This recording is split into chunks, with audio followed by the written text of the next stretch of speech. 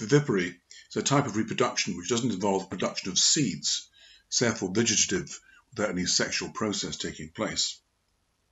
It's found in ferns, also in herbaceous plants, including the grasses.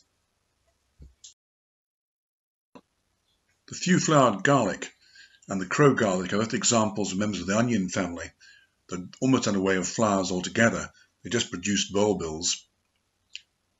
These bulbils are an advantage because they start to grow immediately on the ground, in fact sometimes grow while still attached to the plant.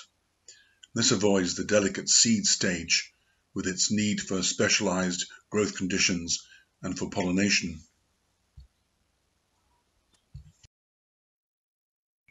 The few-flowered garlic isn't native to Britain, and with its bulbils it's devastatingly efficient when it comes to competing with native plants.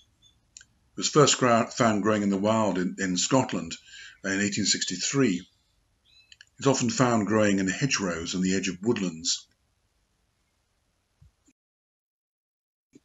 It's often spread on the hooves of horses and cattle and sheep, and once established is extremely difficult to eliminate.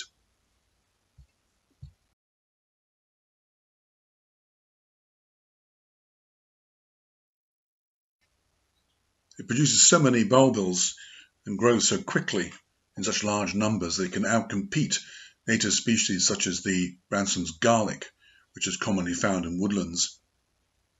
The downside, though, to the being a clone, that is what they call asexual, with no variation at all genetically, is they can't respond to changes in conditions, though this is usually over a long term, such as changes in rainfall and temperature.